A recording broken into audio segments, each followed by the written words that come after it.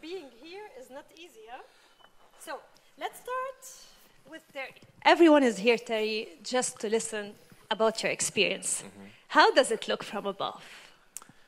Seeing the Earth from outer space was something that made me realize that that was my planet down there. It was a really interesting emotional experience to feel like um, I wasn't even necessarily uh, one nationality or whatever. It was more like I'm a human being, and there's the planet where people live. Uh, and it was a really powerful emotional experience to do that. That's it? well, the views are amazing. The View from Above is the name of my book. In fact, I have a present for Alia. Really? Yes. I have a copy of my book for you that I This signed. is what I, thought, I wanted to Yes. so Alia can see the view from above here with the book. Yay, and I hope this is not the only view I see. Thank you so much. You're welcome. We'll speak tonight, tonight, Alia, about your last achievement. But before that, tell us about your dreams. And I know that there is many. Yeah. So where do you want to go? Um, so my dream is to ulti- ultimately become an astronaut. That's like my top dream, and to see Earth from space, and to do a lot of science experiments. But um, my top dream is to be one of the first people who go to Mars and um, do a lot of science experiments there and get to discover it and make it a place where the human race can live on. And let's ask Sir Andy or Dr. Andy when, We're not going there. when, when the dream of Alia will come true. So I think, Alia, you're growing up in just an amazing time right now. It's incredible because I think in your lifetime, I think in the next 10 years, there are two incredible things that are going to happen and that are going to change everything we've been doing in space. Um, one of them is I really do see a transition from everything being done by governments to things being done by private industry. And the reason that's so important is once private industry goes into space and starts making money, then people will never leave space. We'll be there forever. As long as we depend on governments to do it, you know, it's always subject to next year's budget. So that's going to be one thing. The second thing is, you know, for the last 50 years, almost now, we've just been going around the earth. Not that it's a bad thing, Terry. I mean, it's, a pretty cool awesome. and we've, we've learned how to live and do things in space, but we're going to be going to other planets. And so these things can happen in your lifetime. What, what concerns me a little bit is so I worry. You know, the last time we went to another planet, we went there because we had to get there fast. And I worry, you're not going to like this, but I worry that if we just go to Mars and say, we got to go there and we got to go there now, we'll go there a couple of times and we'll go, wow, this is really expensive. And, and then we won't stay there. So I really believe that the next planet you're going to visit is probably going to be the moon. That's not a planet. The Sorry, next celestial body. So what about Pluto? Are you sort of no. Pluto's in, Pluto's out? exoplanet, so Really? yeah. It's like the whole next generation going to be anti-Pluto. Oh, this is hard. Pretty much. So how many people out there think Pluto's a It's planet? polarization. Come on. Really? Mm-mm. It's not a planet. It's not. So this is an example of planetary polarization. It is, but so, yeah, you're going to have the opportunity to go to the moon. I absolutely believe that. Mm-hmm. You may get the opportunity to go to Mars because I think if we do it the right way, it won't be long after that. Yeah. And, um, you know, some of you out there are going to have an opportunity to participate. And there aren't many generations, you know, that had that opportunity. And, you know, if you think about it, I don't, I don't, when did you first start thinking about going to Mars? Um, I can't even remember. I was like four years old, and my brother, you know how usually your siblings would tell you you're adopted? For me, my brother would tell me, You're an alien. Like, you're not related to us, you're an alien. And um, I was actually happy. And Yeah, he I did that to my sister. It didn't work. Yeah, well, uh, she told uh, he told me that um, you come from Mars, and that's where we got you from. Like you came on a meteor, and we came to help you and everything. and so I believed that for a very long time. And then when I got sick and I realized, oh, I actually have human organs, I was very sad because I thought we can't go to space anymore. Um, Brothers and sisters are the same in every country, by the way. It's not, that's not an Arab or African or American thing. They're the same everywhere. Yeah, telling your siblings you're adopted is, I think, an international thing. um, but I think that was one of the main reasons why I was. I believe that Mars is my home, Wow. and you know, even though Earth, this is where I sadly grew up in and was born on. You know, I think we should take the Earth culture and spread it around the galaxy. As, like, But now you know, Alia, that you have to go to the moon first, Yeah. and then to Mars. I have one thing to say to Yeah. Andy. I think you shouldn't worry much because I've got this. I'm gonna go to the moon, and then after that, I'll go to Mars. I You have know, this. You were just so lucky, and all of your friends are so lucky to be growing up at this time. yeah. Let's ask uh, Terry. Terry, who visited uh, space, love to come back? Um, I would love, you know what I would love to do when I go back to space would be to film a movie. I would love to, uh, you know, either film it or just go back to take pictures. Unfortunately, when you go to the space station, NASA makes you work. They have this uh, thing called a schedule that you get every day, and you have to do all this work. So there's very little time to take pictures and stuff. So um, I had a chance to do everything there is to do while I was at NASA. I was really, really fortunate. And so, I kind of my new mission is speaking and sharing the stories about the adventure and trying to inspire folks here on Earth. Um, a lot of what I learned in space, space is cool and the planets are cool, and I enjoyed that part of it. But um, I learned really a lot about humanity, and you know, people are really what's important. So I like to share that story. I will come back to this Okay. question uh, about if astronauts uh, are living uh, a normal life, yes or no, and I will come back. L- L- Alia, let's say here you recently became the first Emirati and the winner of the international competition, Genes in Space. What made this achievement, Alia, very important for you first and for the UAE Space Agency? Um, you know, for the competition, I worked really hard. Um, I stayed up so many nights. I woke up early in the morning, and I'm not a morning person, just to work on this project. And um, all of that solely because I wanted to make my country proud. And um, I also wanted to be part of the progress that the UAE is making in the space industry. And um, regardless of you know what my dreams are and everything, um, I wanted to make an impact, and this is the first step. And we are proud. Thank you so And much. UAE as well is Thank proud you. of you. Thank. Look, uh, Alia, let's ask uh, Andrew. Uh, today, private companies and they are competing against uh, government organization.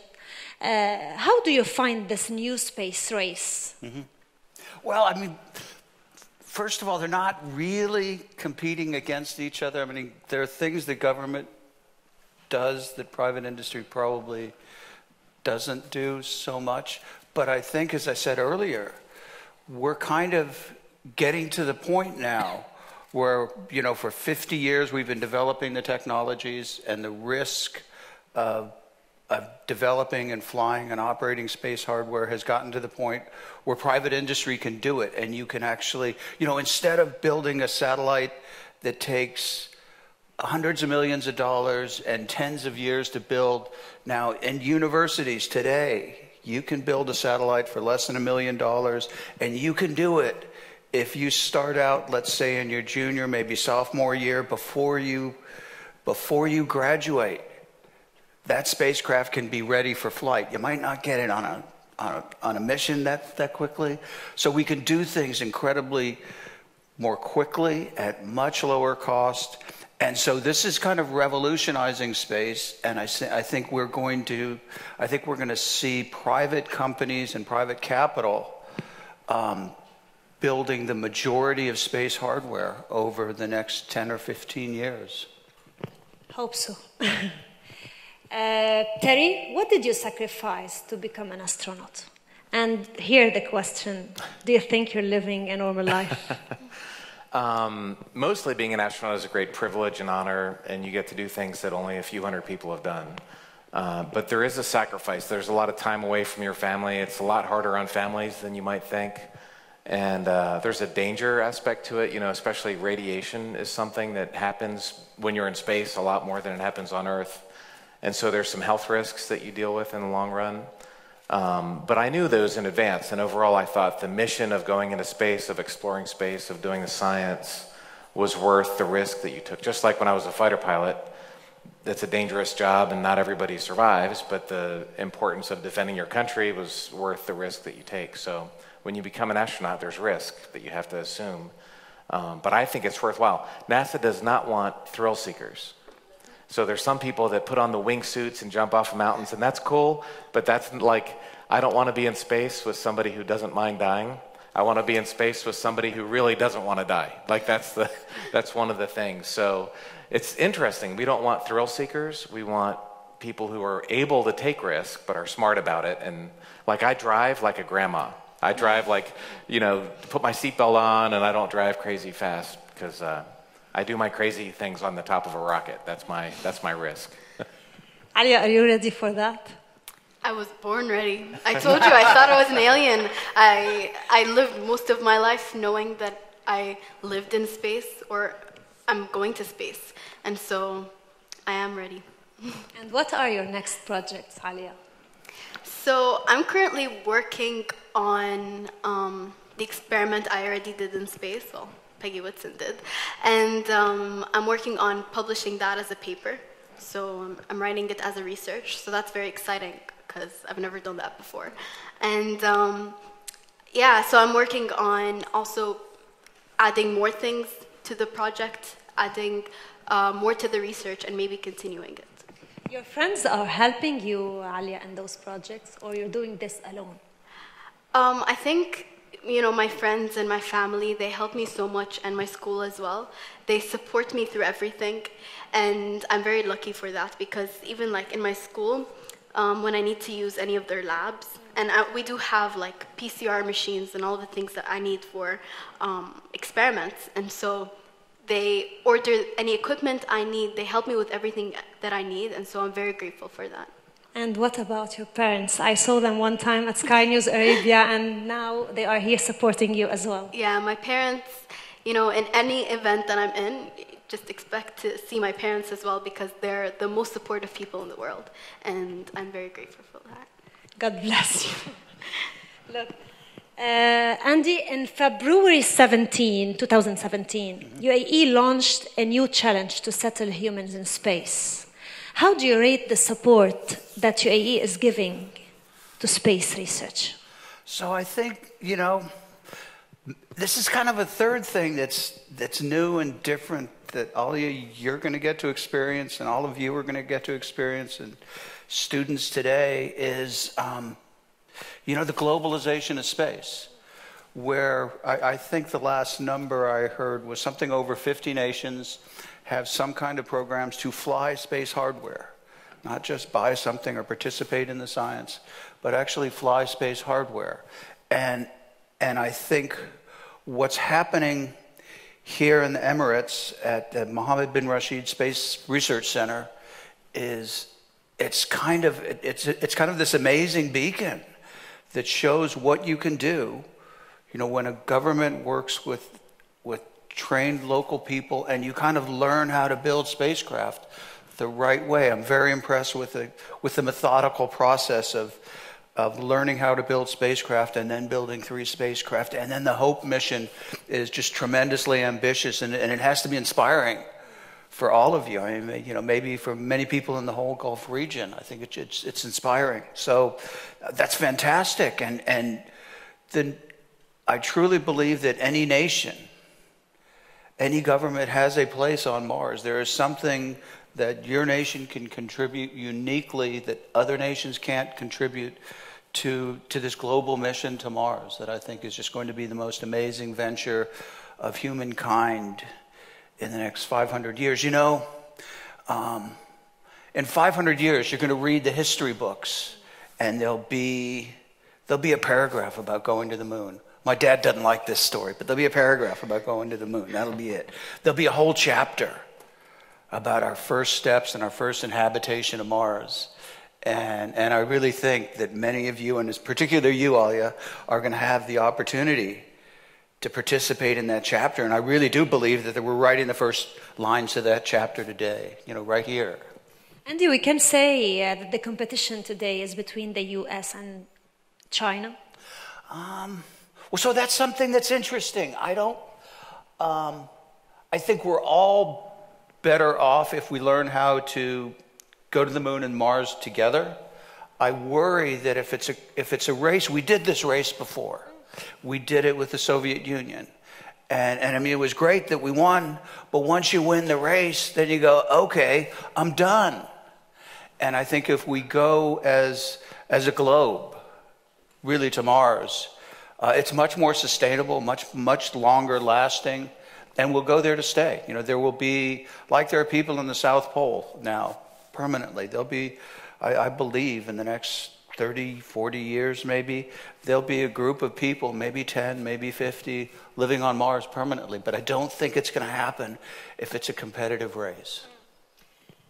Let's talk a little bit about your jackets. I love the blue one. I don't have one. and the red one. But uh, Alia, when I saw you for the first time, uh, I saw the black jacket, right? Yeah.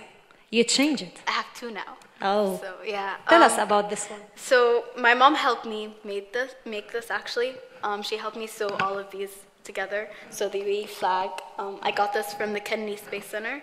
Um, I was given this from Genes in Space, and I also got this from Kennedy Space Center. And I love collecting pins and patches, and it, they all come from my journey to space. I think one day I'll look back to them and remember the times where I went to Kennedy Space Center and I got this patch, and then someone gave me this from the UAE Army. So I'll, I'll remember all of these times through the patches and through the pins, and it's more of a story than a jacket, as cheesy as that sounds. What about yours, Terry? Well, this is our jacket. We actually fly airplanes. It's our, our best training we do as astronauts. So this is a normal, when I would fly the T-38, this was the jacket I wore. And then these are just some of the different patches I did. Um, I was jealous of your F-16 because that's a UAE Block 60 F-16, and that was my last project when I was at Edwards as a test pilot. I, that was my project, so that was and kinda between being astronaut and commander at the U.S. Air Force, what do you prefer? Uh, they're both fun. Flying airplanes. Fun? Fun, yeah. Okay. Uh, but um, being an astronaut is so amazing. I mean, going into outer space is so cool. I wouldn't trade that for anything. you know, Terry, I got a gift for you as well. You do? Oh. yeah, you can have my that's F-16. Oh, cool. Very cool. Yeah. Go. The We're block, trading the gifts block now. 60. I like it. Yeah. Thank you. Before the end, let me ask you guys, and all of you can answer. Do you push youth to conquer space and to make from this world their profession? Do I? Yeah. Yeah, I try and talk to kids as much as I can. Usually, I bet you once a week I speak to a school somewhere. And, um, you know, the other thing is space is universal. It doesn't matter what country I travel all around the world. People love space, they're interested in it. And kids, especially, they don't know what they don't know, or they don't know that anything's not possible. So they actually are the most optimistic about flying in space or doing these things that adults get old and cranky and we're like, oh, you, you can't do this because. And kids are like, why can't? Let's try and do that. So I love talking to kids. They're the most forward thinking, visionary people on the planet.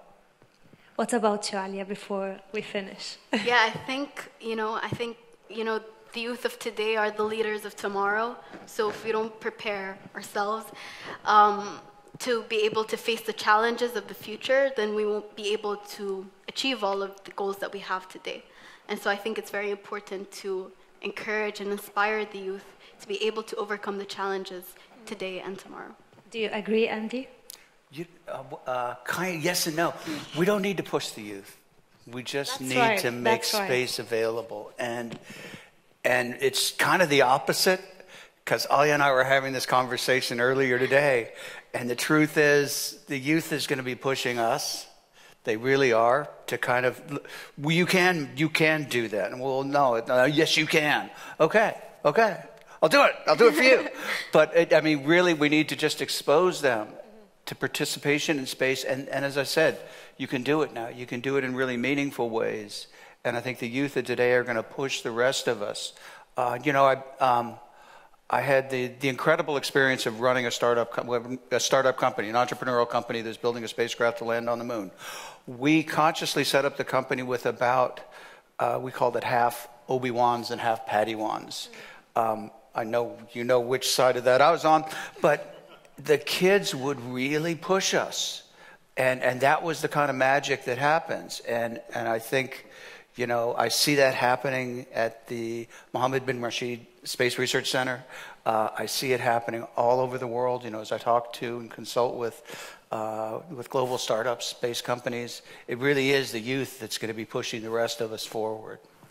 Thank you, Andy, Alia, and Terry, for sharing your experiences. And let's move on to questions.